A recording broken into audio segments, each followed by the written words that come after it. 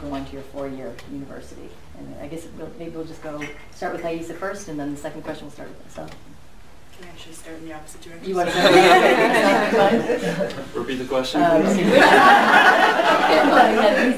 Um, Which aspects of your Middlesex education best prepared you for your four-year university? Okay. Uh, I believe that my honors classes actually prepared me best. And so uh, part of the Commonwealth Honors program is having to take certain kinds of seminars. I'm sure most of you know. Um, and I had to take three of them, I believe is the requirement in order to graduate with honors. And those classes just kind of stepped it up as compared to the normal Middlesex classes. And I found that at my four-year institution, that was really kind of the norm for the classes, especially the papers they had to write at the end. And so, you know, when you're looking at 20-page paper as compared to a normal, you know, Middlesex class, it's, you know, kind of abnormal. It, it's something that most classes do not do, whereas most classes at Clark University do do that. That's a normal thing. Uh, to be fair, and I do need to mention that Clark University classes are four credits per class, whereas Middlesex are three credits. But at the same time, that, that did help step me up to that. Um, I would say, again, Dr. Toomey, because when I was in high school, I had zero help from anyone, and I did not think I was going to be going on to college at all because I was just completely discouraged. And so, I mean, I, I wouldn't be here without him, and um, I, I, I, everything, all these questions, I looked at him ahead of time and I said, everything is because of that man, because he has, done everything.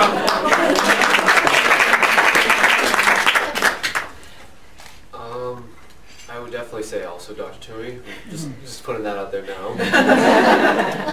but I think you know communication with your advisor and knowing what um, what your major is and what classes you're taking from Middlesex into UMass Lowell also plays a huge role because once I took a lot of classes at Middlesex that were required that I had to take into UMass Lowell, I looked at this sheet that you know required classes I had to take. Most of my general ed education requirements have been completed already alone in Middlesex. So it makes my life a little bit easier, I would suppose, if um, doing all the psych required courses that I have to do so I can focus more time on that. So I did all my general courses in Middlesex and now I'm focusing more on my major in UMass Lowell. Um, I, have a little bit of a different story. I haven't had the pleasure to know uh. But um, I, you know, I, I took the five-year break when I went to the military, um, and, and I wasn't a very good high school student. Uh, didn't really apply myself, um, and so for me, um, it was a lot about um, a lot about foundation. I, you know, I remember my 101 class um, of uh, English 101. Uh, Miss Martin.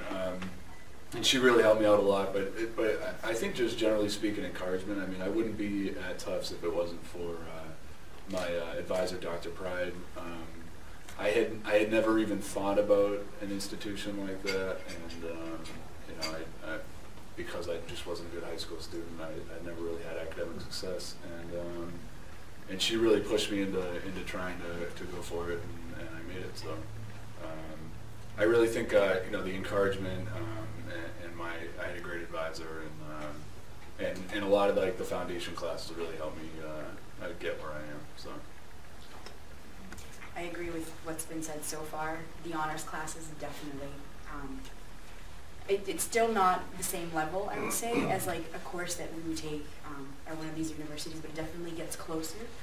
Um, the advisors, absolutely, the transfer advisors were magical. They really helpful. Applying for financial aid. Um, I'm a first generation college student, so I knew nothing. and so going into the office, um, can you help me with this? Can you help me with that? That was really good. Um, student activities office, surprisingly enough, um, the connections I made there with a lot of the leadership team, um, student government, and all, I could always go to them and be like, hey, what's the best school to apply for for my program? What can I do? So I think knowing everybody who's, who, who, yeah, just people like that, like advisors and, yeah, yes, yeah. Great. Okay, so now we want to know what, what all of us in this room, uh, what Middlesex can do to better prepare our students for, to make that move from the two-year to the four-year school. And so, anybody want to start? Do you want to start, Melissa? Yeah, uh, sure.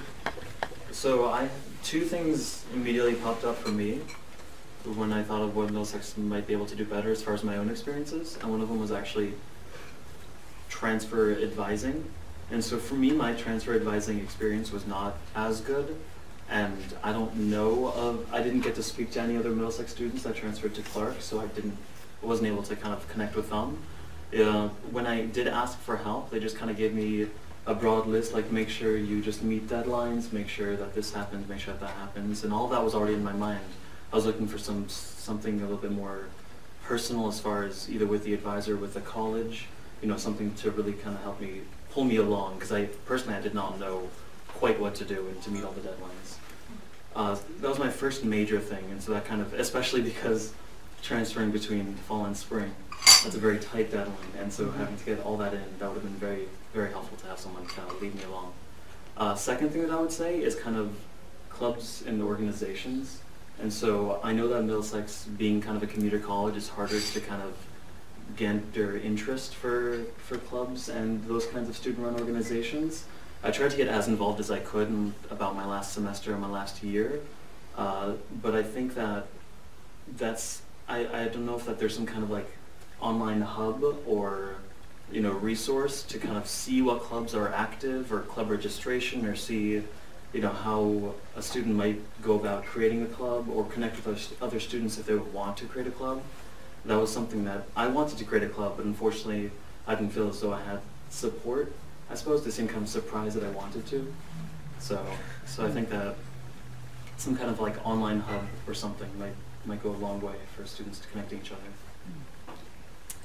I would say probably a little more reaching out in terms of exposing and really showing off MCC because MCC compared to the community college I have where I'm from in Fall River is like the Ivy League of community colleges. it's it's really impressive. There's no almost all of the classes that you can take at MCC transfer somewhere. And the classes at the community college where I'm from is you have to ask, and even when you ask them what classes do transfer, they don't give you a lot of information. So I would say, if depending on where it is, like I've been trying to get for a little while now, trying to find a way to get MCC down towards Fall River and the south part of Massachusetts, where you can branch out more. Because a lot of the students from my high school, they've had they're having the same experience I'm having. I had of being discouraged from the guidance counselors of all jobs, um, and or not having the proper financial position to go to college. Whereas if you go to MCC, you'll find all these outlets that have scholarship opportunities or transfer low connections. And if MCC had just branched out a little more and to the rest of part of Massachusetts, you'd probably have a lot more students going and I would, that's probably what I would say, just branching out more. A lot of students would benefit from it. Um, I would say something that we looked upon would um, differentiating the difference of students in the classes specifically because there's always going to be the students who do want to go to UMass and then there's students who want to get the associate's degree and you know, maybe get a job and henceforth. With the UMass Lowell students, it's like, no, I have to move on and henceforth. So they want to put 100% focus in the class that they are now so they don't have to work as harder later in their lives. If they want to, okay, fine. but if the classes, because the classes I took, you know, were all, again, general edge, ed, but I felt like I could have done more in the classes, if not harder classes, I didn't take any honors classes or anything. But I didn't feel like the classes I were taking were specifically set to be for UMass Lowell all I knew was that they were for transfer credits and stuff like that. So maybe the classes are going to be looking out towards specifically UMass or the other colleges that you know we are all going to and henceforth focus on. So if it's a psychology major, what classes and what material, if that's possible, to look upon in UMass Lowell? Because I think you know if you know what you're going to see in the future, you know what's going to happen, you can be well more prepared for it because this last semester at psychology, I had to write a research proposal that I was not prepared for. I did good on it, but I wasn't expecting it, and I've never done anything like it before. so I think being more prepared for things like that would help immensely in Middlesex. Do you mind repeating the question? Sure, so, so what can Middlesex do to better prepare students for four-year? Um, I think uh, yeah, I, had a little bit of a problem with transferring my credits. I mean, I took a lot of classes at Middlesex, 26 to 27, um, and Tufts only accepted maybe 15 or 16, and I had I had to fight for a couple of them. Um, not because um, you know they weren't. Um, I think it has to do with the amount of material. Uh, sometimes I had to ask them if you know if I did two classes, would you make that one class basically? Um, and and they would accept that. I think it was because I was bounced around a little bit with my advisors in the beginning of my um, uh, tenure at uh, MCC, and so I didn't have somebody constantly, you know, with me and, and telling me, okay, well, this is probably where you should be going. And so I kind of took like random classes here and there, and a lot of things just aren't applicable to my degree um, that I took. Um, and the other thing is, um, uh, I think I like the, the fact that uh, you know Middlesex really tries to, to help the students. I mean, you know, it's it's we're, we're trying to help you learn and try to teach you study skills too. And and a lot of the teachers they put out study guides, and I think that that's a great thing. Um, but at a, a four-year institution like Tufts, you don't get a study guide, right? So I, I think something that might really help is if uh, teachers try to explain how um, they derived to the things that they did in their study guides to really help students be able to pick that apart themselves. You know, you want them to be able to go onto an institution and, and be able to create their own study guide because they won't get that. Um, and I think that that's something um, I needed help with too. Again, I had the break and, and I wasn't a, fantastic student in high school, so um, a lot of the study skills were lost with me. Um, and so I kind of had to retool, uh, relearn that, that kind of thing. So. I think for me, um, so I going into Middlesex, I knew that I wanted to go to medical school, and I spent two years, you know, taking classes, doing really well, doing all kinds of extracurriculars that did not involve any clinical experience, and I didn't know the importance of getting clinical experience and doing internships and volunteering in hospitals, and I kind of wish I had, because then I feel like it was kind of two years that they weren't wasted years, but they were years that I could have been volunteering and building up my resume. And so when I transferred over to BU, I had to start from my junior year, and I only have two years competing with people who have been doing clinical things for four years. And so that was the hard part for me. And this was, due, you know, as I'm taking these classes that are at a completely new level, um, because a biology course in BU is not a joke. It's, a, it's they're tough. Um, they're really tough. And that's another um, thing for me. And so I think one improvement that I would, one suggestion that I would make for MCC is to maybe have advisors think in the long run. So maybe for people who want to go into master's programs and people who want to go to medical school or dental school. And so I feel like the advising for immediate transfer was very good. Um, you know, there's definitely improvement, but I feel like in the really long, like down the line, going to thinking to medical school, I was completely unprepared. I had no idea. And so now I'm volunteering in three different hospitals trying to catch up, you know, you know, trying to catch up and, and stay competitive as I'm taking these really tough science courses at the same time. And it's sometimes it's a little overwhelming. And so, and then the other suggestion, and I don't know what the solution to this would be, but um, the intensity and the workload is very different. Um, and it was kind of a shocker for me.